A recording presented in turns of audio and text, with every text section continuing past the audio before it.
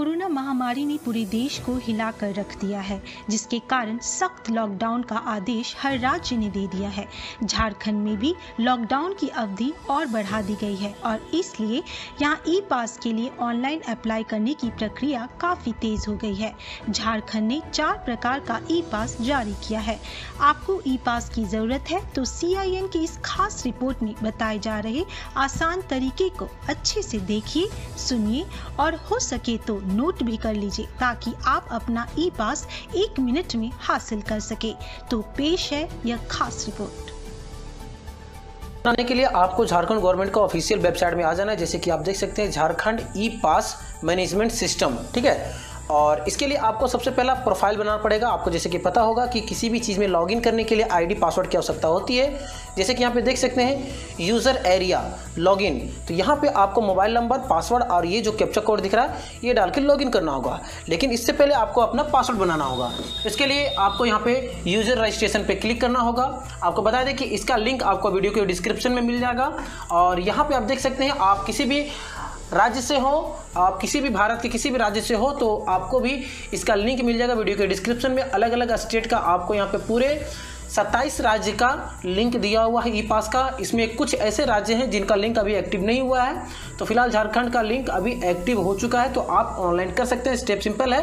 Registration पे click करने के बाद आपको सबसे पहले अपना मोबाइल नंबर यहाँ पे मांगा जा रहा है। तो अपना मोबाइल नंबर यहाँ डालेंगे। एक बार मोबाइल नंबर डालने के बाद फिर से आपके सामने कन्फर्म मोबाइल नंबर का ऑप्शन आएगा। मोबाइल नंबर को दोबारा से डालेंगे और सबमिट करेंगे ताकि वो कन्फर्म हो जाए। मोबाइल नंबर डालने के बाद यहाँ पे आपको अपना पासवर्ड सेट करना होगा। यूज़र पासवर्ड पॉलिसी जैसे कि आप देख सकते हैं, यहाँ पे डाला हुआ है। फ़िलहाल मैं आपको शॉर्ट में समझा दे रहा हूँ। यहाँ पे देख सकते हैं, लिखा हुआ है X Y Z at the rate one two three मतलब स्पेशल कैरेक्टर होना चाहिए, ठीक है? और अल्फ़ाबेट का एक फ़र्स्ट लेटर कैपिटल होना चाहिए और कुछ नंबर्स होना चाहिए, ठीक है?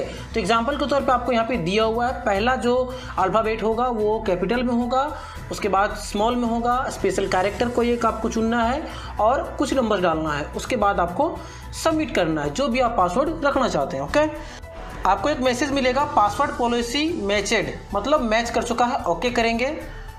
डालना होगा ताकि वो कंफर्म हो जाए ओके और सबमिट करेंगे। पासवर्ड को दोबारा से सबमिट करने के बाद आपको एक पॉपअप मैसेज मिलेगा you have successfully registered kindly log in and apply for e pass okay करेंगे आईडी पासवर्ड क्रिएट कर लेने के बाद आपको यहाँ पे सिंपल लॉगिन करना है, नीचे आएँगे यूज़र एरिया में, और यहाँ पे आपने जो मोबाइल नंबर अपना डाला था रजिस्टर करते समय मोबाइल नंबर डालेंगे, आपने जो पासवर्ड क्रिएट किया पासवर्ड यहाँ डालेंगे और ये जो कैप्चा कोड दिख रहा है टू नाइन नाइन फोर तो हर बार ये अलग अलग आएगा, मोबाइल नंबर डालेंगे पासवर्ड डालेंगे कैप्चर डालेंगे और लॉगिन पे क्लिक करेंगे। लॉगिन करने के बाद आपके सामने यूज़र प्रोफ़ाइल आ जाएगा। यहाँ पे आपको दिखा रहा है कि आपने कितना परसेंट अपने प्रोफ़ाइल को बनाया है और यहाँ पे आप देख सकते हैं तीन स्टेप आपको फॉलो करना है, जिसमें आपने मोबाइल वेरिफिकेशन कंप्लीट कर लिया है। और पहला जो स्टेप है, वो है पर्सनल डिटेल और ये पेंडिंग है और डॉक्यूमेंट जो है पेंडिंग है। तो सबसे पहले आपको पर्सनल डिटेल फिल करना होगा तो इस पर क्लिक करेंगे। पर्सनल डिटेल में आपको अपना यूज़र प्रोफ़ाइल बनाना होता है, जिसमें आपको अपना नाम डालना होगा और यहाँ से आपको अपना डेट ऑफ़ बर्थ चुनना होगा, जो भी आपका डॉक्यूमेंट में होगा। और यहाँ से जेंडर चुनेंगे मेल फीमेल नेशनैलिटी इंडियन रहेगा। यहाँ फादर नेम डालेंगे और आपका मोबाइल नंबर यहाँ पे आएगा, ठीक है? उसके बाद आपको अपना यहाँ पे एड्रेस डालना है, जो भी, जिस एड्रेस में अभी आप हैं, ठीक है? उसके बाद आपको अपना स्टेट यहाँ से चुन लेना है और डिस्ट्रिक्ट यहाँ से चुनेंगे और यहाँ पिन कोड डालेंगे और सेव पे क्लिक करेंगे, ठीक है? पर्सनल डिटेल यहाँ पे कंप्लीट हो चुका है और मोबाइल वेरिफिकेशन कंप्लीट हो चुका है। अब बचा है डॉक्यूमेंट ठीक है? तो डॉक्यूमेंट पे क्लिक करेंगे। डॉक्यूमेंट में आपको अपना आईडी डिटेल डालना होगा। तो आईडी टाइप में आपको यहाँ पे अगर सेलेक्ट करेंगे तो voter card PAN card passport और आधार कार्ड और ड्राइविंग लाइसेंस ये सभी डॉक्यूमेंट में कोई एक डॉक्यूमेंट आप लगा सकते हैं। तो हम एक डॉक्यूमेंट यहाँ पे चुनते हैं और जो भी डॉक्यूमेंट आप यहाँ पे साल यहाँ पे कंप्लीट हो चुका है, जैसे कि आप देख सकते हैं, तीनों स्टेप यहाँ पे personal detail document and mobile verification complete है और यहाँ हंड्रेड परसेंट अब यहाँ पे साइड में आपको डैशबोर्ड दिख रहा होगा प्रोफ़ाइल कंप्लीट है और यहाँ पे आपको एक ऑप्शन दिख रहा होगा ई पास इस पर क्लिक करेंगे। उसके बाद अप्लाई फॉर ई पास इस पर क्लिक करेंगे। उसके बाद आपके सामने रिक्वेस्ट फॉर ई पास का एक ऑप्शन आएगा, जहाँ से आपको अपना डिस्ट्रिक्ट को सेलेक्ट करना है, जो भी डिस्ट्रिक्ट से आप होंगे। उसके बाद टाइप ऑफ़ ई पास तो यहाँ पे आपको चार टाइप दिया हुआ है कि आपको झारखंड से बाहर जाना है, या फिर झारखंड में ही किसी अलग डिस्ट्रिक्ट में जाना है। तो यहाँ पे आप देख लेंगे तो आपको यहाँ पे देख लेना इन चारों में से किस टाइप में आपको चाहिए, ठीक है? तो आप अपने हिसाब से यहाँ पे सिलेक्शन करेंगे और सेव वाले बटन पे क्लिक करेंगे। उसके बाद आपको यहाँ पे पूरा डिटेल को फिल करना है, कहाँ से आप जा रहे हैं, कहाँ तक आपको जाना है, कब आना है तो इसको ध्यान से देखना है। तो यहाँ पे आपको करंट एड्रेस अभी जहाँ अभी आप हैं, जहाँ से आपको जाना होगा, उस जगह का एड्रेस यहाँ पे पूरा फिल करेंगे। उसके बाद विजिटिंग स्टेट आप किस स्टेट में जा रहे हैं? तो फ़िलहाल हम झारखंड में ही किसी अलग डिस्ट्रिक्ट में जा रहे हैं। तो यहाँ पे हम चुनेंगे, अगर आप किसी अदर स्टेट को जाने को स्टार्टिंग में सेलेक्ट करते हो तो यहाँ पे स्टेट का नाम आता है, ठीक है? उसके बाद यहाँ पे किस डिस्ट्रिक्ट में जा रहे हैं उसका नाम और कहाँ जा रहे हैं उस डिस्ट्रिक्ट में उसका एड्रेस यहाँ पे फिल करेंगे, ठीक है? उसके बाद ई पास कैटेगरी यहाँ पे है। ई पास कैटेगरी में बहुत सारी चीज़ें यहाँ पे दिया हुआ है। आप पीडीएस डीलर के पास जा रहे हैं या फिर मैरिज के लिए जा रहे हैं या फिर किसी चीज़ का शॉपिंग के लिए जा रहे हैं या फिर कोई गवर्नमेंट एम्प्लॉय हैं फ़ूड खरीदने के लिए जा रहे हैं। मतलब यहाँ आप देख लेंगे अलग अलग टाइप से सारा कैटेगरी दिया हुआ है, ठीक है? तो हम यहाँ पर एक कैटेगरी को सेलेक्ट करते हैं टाइप ऑफ़ जर्नी आप वन वे या फिर आपको सिर्फ़ जाना है या फिर रिटर्न भी आना है, ठीक है? तो आप यहाँ पे विज़िट एंड रिटर्न दोनों चीज़ आपको अगर है, आपको जाके आना है तो आप ये चुनेंगे और सिर्फ़ जाना है या फिर सिर्फ़ आना है तो आप वन वे चुनेंगे, ठीक है? तो हमारे केस में दोनों है। उसके बाद आपको रिक्वेस्ट शेड्यूल ऑन आप किस डेट से किस डेट तक जाना चाहते हैं, ठीक है?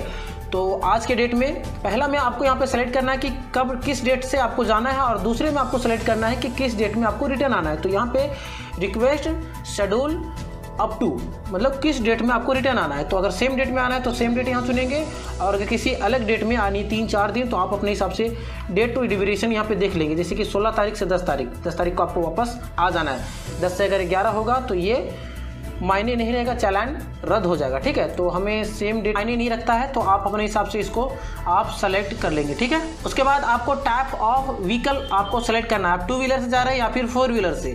फोर व्हीलर है तो फोर व्हीलर चुनेंगे और टू व्हीलर है तो टू व्हीलर चुनेंगे ओके उसके बाद number of person four wheeler में तीन पर्सन ही जा सकता है। जैसे कि यहाँ पे आप देख सकते हैं, हमने फोर व्हीलर सेलेक्ट किया और यहाँ तीन ही व्यक्ति जा सकता है। उसके बाद आपको यहाँ पे जितने भी लोग ट्रैवलिंग करेंगे, जैसे कि फोर व्हीलर में तीन ही लोग अलाव है तो तीनों का यहाँ पे नाम डालेंगे और व्हीकल रजिस्ट्रेशन नंबर यहाँ पे डालेंगे।